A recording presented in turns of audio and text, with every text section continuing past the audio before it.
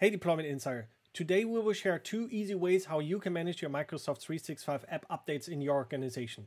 So if you're looking for a straightforward solution that you can set up in just a few minutes, you're in the right spot. Let's get started.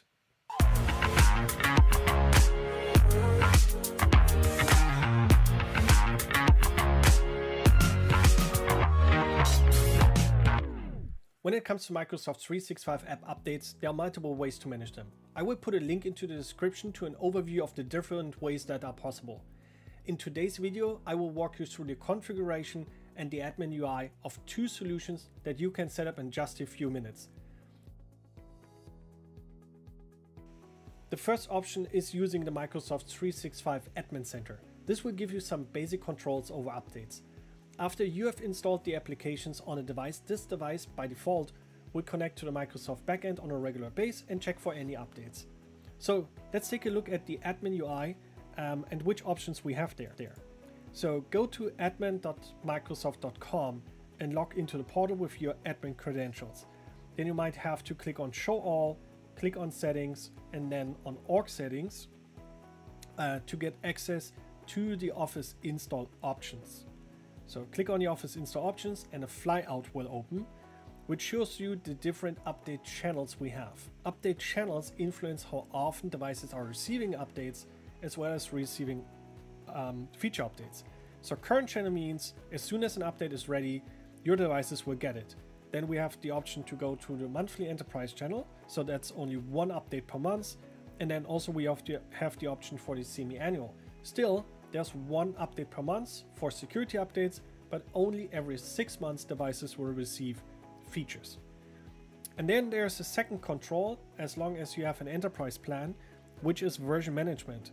So you can see the current version which is rolled out to your devices, as well as um, you see the next version and you can skip this if needed, or if there's an issue with the current update, you have the option to roll back one version that's basically it um, when it comes to the Microsoft 365 Admin Center.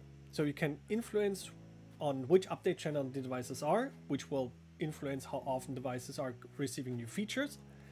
Um, but you don't get an insight down to a device level and you can't enforce or trigger updates.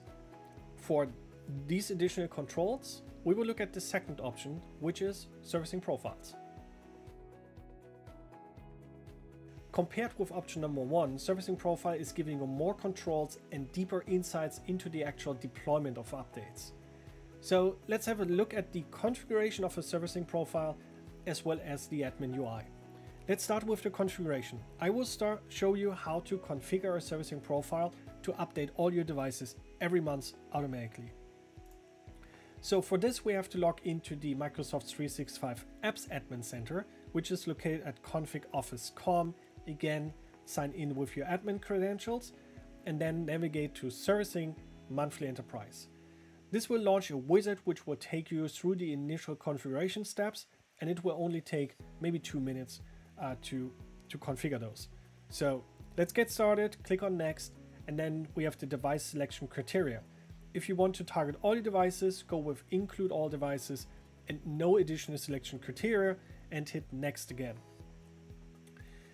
This will give you the opportunity to define a window, a time frame where no update should be deployed, but we will go without a window for now. And then it brings us to the update deadline. This is where I can configure how many days are between a device learns about an update and the device enforces an update. So for the best balance between getting security updates, for example, to your devices quickly and not disrupting your users too much, we go with three days. So click next and then click create profile and a profile will be configured in the background and start deploying updates to your devices.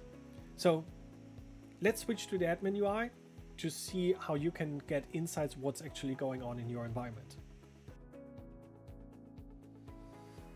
So after setting up your profile for the first time, you will land on the Overview tab. The Overview tab gives you an overview of the current version which is pushed to your devices, the exact build, as well as how many devices um, the servicing profile is targeting and what the current state of these devices is. It also gives you on the right hand side the option to pause the update if there are any issues with this. If we want to go to a device level, switch to the devices tab. There we can see all the different devices and the individual status of these devices when it comes to deploying or accepting the Microsoft 365 app updates. So we can see how many devices are still waiting to receive the update, are in the process of applying the update, or have completed the actual update. There's also an issues tab if there are any issues. For example, a device can't download the update or is out of disk space and can't apply the update. You will find it there. And then there's a settings tab where, where you can review your settings or adjust settings later on. So that's servicing profile. Um, compared to option number one, additional controls uh, regarding which devices are receiving updates, it enforces updates and gives you more insights into the current status. Both solutions are absolutely fine for managing the Microsoft 365 apps directly from the cloud, are easy to set up, and basically fire and forget solutions. So these were two options to manage your Microsoft 365 app updates. As mentioned before, there are multiple more ways and I will put a link into the description to a full overview. If this video was helpful for you, please give us a like, please subscribe to the channel to not miss any future tips and tricks videos we will publish. Until next time, keep deploying.